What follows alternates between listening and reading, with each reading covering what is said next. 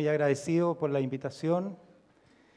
Yo quiero contarles que hace algunos años yo perdí a un hijo que murió esperando un trasplante de corazón. Él se llamaba Felipe y murió con 11, con 11 años. Esa experiencia fue una experiencia muy dolorosa familiarmente, pero a la vez fue una experiencia de mucha luminosidad, muchos misterios de Dios que vivimos en conjunto con nuestro hijo. Y por eso quería contarles yo la historia de él. Eh, todo comenzó cuando Felipe tenía seis años de edad y era un niño completamente sano, eh, muy alegre, que disfrutaba la vida. Y de pronto en un examen eh, de rutina aparece algo que, que no estaba bien, que no era normal para los médicos y se empieza a investigar qué es lo que tiene y se plantea la, hipótesis de que tenga una enfermedad mitocondrial, que es una enfermedad multisistémica eh, muy grave y se habla de la posibilidad de la muerte de Felipito. Yo la verdad que me sentí, realmente no lo podía creer lo que estaba pasando, me sentí completamente eh, conmovido, angustiado, pero decidí hacer todo lo posible por diagnosticar la enfermedad que me estaban diciendo que tenía, aunque yo lo veía completamente sano a mi hijo, y quería diagnosticar y encontrar a los médicos que pudieran sanarlo. Y en esta búsqueda, eh, Felipito un día me dijo, papá me dijo, no te preocupes tanto porque Jesús me va a ayudar. Y yo, bueno, quedé sorprendido como por la fe de él, y me dice que quiere que yo le lea las escrituras todas las noches, algo que era totalmente inhabitual en un niño. Y empezamos a hacer esta lectura, eh, la lectura nocturna de las escrituras, y un día pasa algo que fue que Felipe me miró con una cara muy especial que nunca voy a olvidar, como iluminado, y me dice, papá, yo sé que tú me llevarías a la muerte si Dios te lo pidiera. Y ahí yo sentí algo muy fuerte porque me dejó impresionado, helado, y yo sentí que él estaba hablando de su, de su muerte, como profetizando su muerte y que su muerte era algo que Dios necesitaba. Para mí era un misterio lo que me dijo en su inocencia de niño, y yo seguí luchando, luchando por, por, diagnosticar la enfermedad y los médicos dijeron que Felipe no tenía una enfermedad mitocondrial, que, no tenía ni, que todos los exámenes salían buenos y que lo que habían encontrado era un hallazgo que era asintomático y había que esperar. Eh, yo no podía olvidar esas palabras de Felipe que me decía, que yo lo llevaría a la muerte si Dios me lo pidiera. Y me daba vuelta y decía, algo hay aquí, pero había vuelto la paz con esta situación de que no había una enfermedad mitocondrial. Pero a los nueve años, de la nada, el corazón de Felipe se detiene, el sistema eléctrico colapsa del corazón y está al borde de la muerte. Logramos revertir esa situación, él se coloca un marcapaso y vuelve al colegio eh, a seguir su vida de niño feliz. Eh, y yo vuelvo a investigar, a investigar eh, esto de, una enfermedad mitocondrial que era desconocida para los médicos. Y bueno, ponía todo mi empeño en eso. Y a los, a los, 11, a los 11 años, Felipe comienza con una dilatación del corazón. Yo sabía que al comenzar la dilatación del, corazón, Felipe no tenía una probabilidad de vida más allá de un año. Yo la única posibilidad que tenía era que se trasplantara el corazón. Y los médicos me decían, no, Gonzalo, no, no hablemos de trasplante. Pero yo insistía, insistía en esto. Y un día, cuando ya Felipe empezaba a notarse su fragilidad en el corazón, se cansaba, llegó corriendo a mi pieza Y nuevamente con esa cara como tan especial que era como una cara que yo sentía como iluminada. Y llega corriendo feliz y grita, eh, papá, Jesús me va a dar un, un cuerpo nuevo. Yo escucho un cuerpo nuevo y decía, pero no es de ángel, papá, es humano, es humano y no se enferma. Y él tenía una felicidad así desbordante. Y yo decía, pero qué raro todo esto que Felipe habla en su inocencia de niño, porque él no entendía lo que decía. Y a los, pocos días, eh, Felipe, su corazón hace una arritmia, se genera un coágulo, se le produce una trombosis cerebral, cae al hospital por primera vez, a la UCI, y logramos revertir esa trombosis. Y, por primera vez los médicos me dicen, Gonzalo, hablemos de trasplante.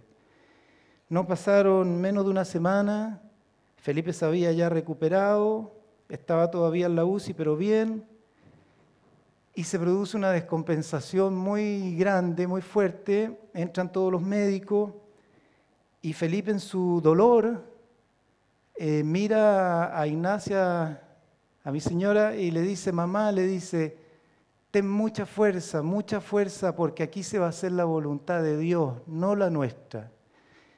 Y ahí lo sedan y lo entuban. Y bueno, Ignacia llorando me dice esto, y yo digo, nuevamente Felipe habla de su muerte, dice que esto es algo de Dios, y para, para mí era un misterio que me superaba. Pero yo seguía, seguía con el trasplante, a los pocos días se logra, sobrevivir de esta descompensación y entra a Prioridad Nacional de Trasplante.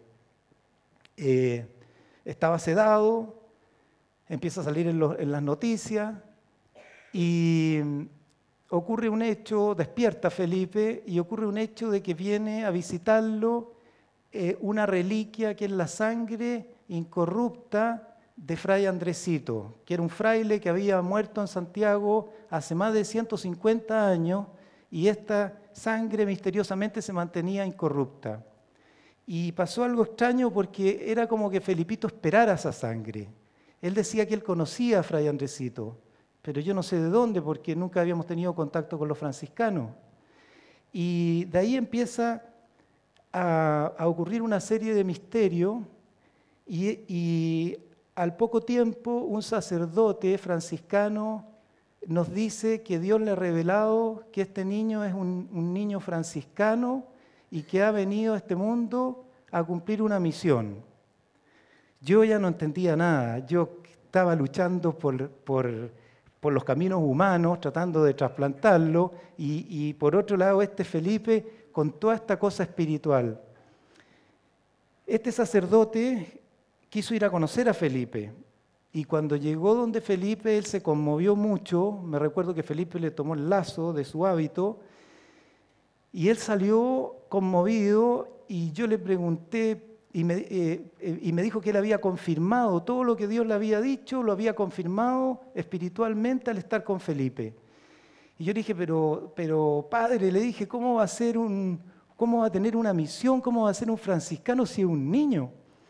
Entonces me dice, me dice, se agarra el pecho el sacerdote y, empieza a gritar en un estacionamiento y empieza a decir, no sé por qué Dios me ha puesto a este niño en el pecho, me quema, me quema.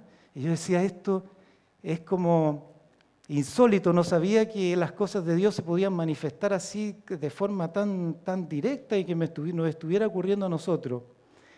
Eh, yo encomendamos como familia a Felipe, a Fray Andresito, y llegó un momento que Felipe estaba al borde de la muerte, los doctores dicen que él no va a sobrevivir una semana más, y yo digo, no, Fray Andresito va a ser un milagro. Y el milagro eh, fue que llegó un corazón artificial desde Argentina para que Felipe pudiera esperar tranquilo el que llegara un corazón para trasplantarse. Yo estaba feliz eh, cuando llegó ese corazón y el día que le estaban implantando el corazón hicimos una misa en el hospital de la Universidad Católica y durante la misa yo escuché un grito cosa que nunca en mi vida había escuchado algo así, escuché un grito que decía, escucha Israel. Y yo me asusté porque, eh, y dije, pero ¿qué es lo que está pasando? ¿Qué significa esto? Y para mí era una cosa de Dios que me superaba. Pero yo seguía, seguía, seguía en el, el tema del trasplante, del corazón artificial, de que los médicos estuvieran encontrando los caminos humanos adecuados. Y a los 14 días llega este sacerdote franciscano al hospital, nuevamente con la sangre de Fray Andresito. Felipe estaba muy bien, estaba sedado todavía, pero los doctores estaban felices porque todos sus órganos estaban funcionando bien con el corazón artificial. Y este sacerdote dice que el Señor fue en el convento, le dijo, Francisco, anda al hospital donde Felipe porque él tiene que llevar a término su misión. Y él apareció con la sangre fray Andresito y nos empieza a hablar de todos estos misterios de Dios. Y nos dice que, y nos, y nos dice que este niño ha venido a este mundo a cumplir una misión y que esa misión Dios le dijo que la tiene que llevar a término. Y para mí era todo un misterio, no sabía realmente cómo, cómo enfrentar todo esto. Y a las tres horas, estando Felipe en perfectas condiciones, se produce un derrame masivo y Felipe muere. Yo llamo a este sacerdote con mucho dolor y le digo, Padre, le digo, Felipe murió. Y él me dice, bendito sea el Señor que me permitió acompañar a, Felipe, en, acompañar a Felipe en su muerte. Ha muerto, dice, un mártir de la Iglesia Católica. Yo le digo, pero ¿de qué está hablando, padre? Felipe me dice, entregó su vida por la Iglesia Católica. Después vamos a conversar. Bueno, lo reciben los franciscanos en la Recoleta Franciscana de Santiago, le hacen una misa, después se va al colegio, después viene la misa fúnebre, la hace el cardenal y vamos al cementerio a enterrar a Felipe y Felipito, este sacerdote quiere enterrarlo como franciscano. Y para enterrarlo como franciscano, él había construido una cruz que la había hecho con sus manos y levanta la cruz y dice, esta es la cruz Tau, que es la cruz que ocupaba San Francisco, que, es la Tau, la última letra del abecedario hebreo, y dice, esta es la cruz más humilde que he visto darle un hermano franciscano, esta es tu cruz, Felipe.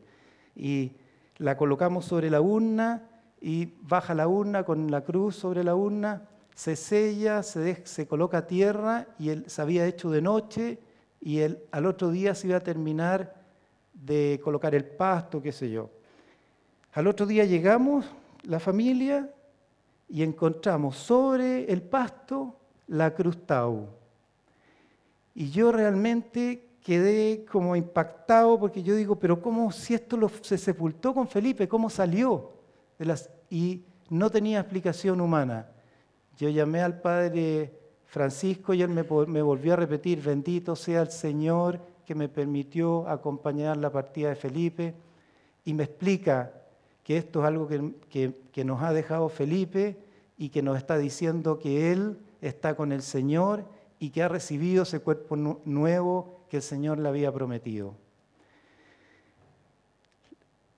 Toda esta historia a mí mm, está lleno de signos de Dios y la verdad es que me supera, pero me dejó la paz interior de saber de que al final el camino de Felipe, que fue el unirse a Cristo, en ese dolor que él tenía, realmente le permitió eh, lograr lo que él quería. Para mí fue un fracaso, digamos, mi camino porque terminó con la muerte, pero él terminó con la vida.